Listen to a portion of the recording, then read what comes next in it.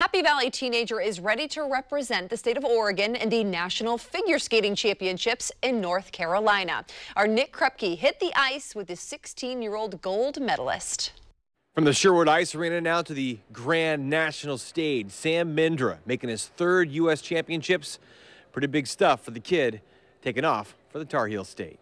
Well, before you skate, I have a bunch of adrenaline and so that kind of pushes me. A 16-year-old member of the Portland Ice Skating Club, Sam is the proud owner of a gold medal from the Pacific Coast Sectionals, earning his ticket to compete for a third time in the U.S. Figure Skating Junior Men's category from North Carolina, where the anxiety just melts away. Once I start, I'm into it, and so uh, I don't get distracted. I just go do my thing.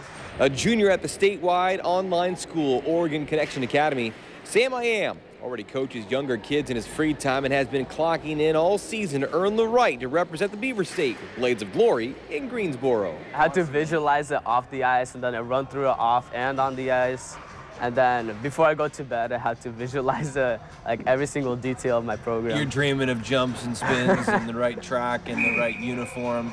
Yeah, that would be nice if I could do it all the time. So if there's nine brothers and sisters that skate, mom and dad skate, who's the best ice skater in the house?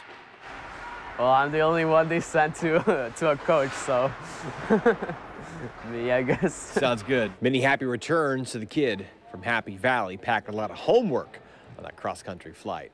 In Sherwood, Nick Krupke, Fox of Oregon.